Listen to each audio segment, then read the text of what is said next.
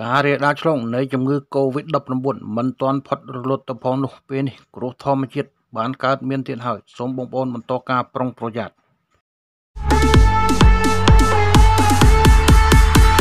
យោងតាមរបាយការណ៍របស់មន្ត្រីរដ្ឋបាលស្រុកភ្នំព្រឹកបានឲ្យដឹងថាទឹកភ្លៀងបានចាប់ផ្ដើមធ្លាក់ខ្លាំងតាំងពីយប់ថ្ងៃទី31ខែសីហាហើយ រហូតមកដល់រសៀលថ្ងៃទី1ខែកញ្ញានេះភ្លៀងនៅតែបន្តធ្លាក់រេប៉ាយដដែលនាំឲ្យមានការជន់លិចផលដំណាំនិងលំនៅឋានរបស់ប្រជាពលរដ្ឋដំបូងគេមានចំនួន3ឃុំឃុំ3ដែលកំពុងតែរងគ្រោះដោយសារទឹកភ្លៀងនេះមានឃុំបារាំងធ្លាក់ឃុំភ្នំព្រឹកនិងឃុំសម្បូរតែអាជ្ញាធរមិនទាន់បានបង្ហាញពីរបាយការណ៍ខូចខាតដល់ឡើយទេនៅពេលនេះ បើតាមសម្ដីប្រជាពលរដ្ឋដែលរស់នៅតំបន់រងគ្រោះបានប្រាប់ឲ្យដឹងថានៅថ្ងៃទី1ខែកញ្ញានេះនៅជិតពាក់កណ្ដាលអាទិត្យនៅថ្ងៃទី31ខែសីហាជិតឈានចូលដល់ថ្ងៃទី1កញ្ញាភ្លៀងបានចាប់ផ្ដើមធ្លាក់យ៉ាងគំហុករហូតទៅភ្លឺហើយបន្តរហូតដល់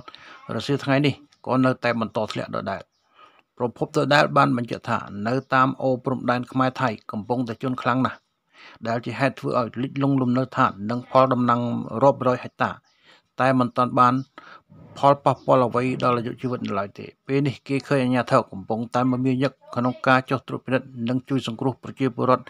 ដែលកំពុងតែប្រឈមខ្លាំងខណៈភ្លៀងនៅតែសន្ទុះកាន់ឡើងដដែលដោយឡែកងាកមកមើលទឹកភ្លៀងចំនួននៅក្នុងឃុំសម្បូរវិញបើតាមមន្ត្រីបាននិយាយនឹងថាចំនួនទឹកភ្លៀងហាក់គ្មានសញ្ញាធំធេចទេប៉ុន្តែពេលនេះ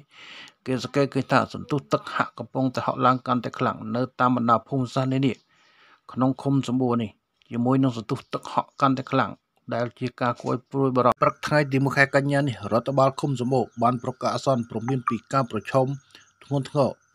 ជាមួយនឹងទឹកចំនួនទឹកភ្លៀងនេះតាមរយៈបណ្ដាញសង្គមរបស់រដ្ឋបាលឃុំសម្បូរអាជ្ញាធរបានប្រកាសជូនដំណឹងដល់ប្រជាពលរដ្ឋដែលរស់នៅក្នុងមូលដ្ឋានរបស់ខ្លួនឲ្យមានការប្រុងប្រយ័ត្នចំពោះទឹកចំនួនទឹកភ្លៀងដែលកំពុងតែមានសន្ទុះកាន់តែខ្លាំងក្លានេះឡើង។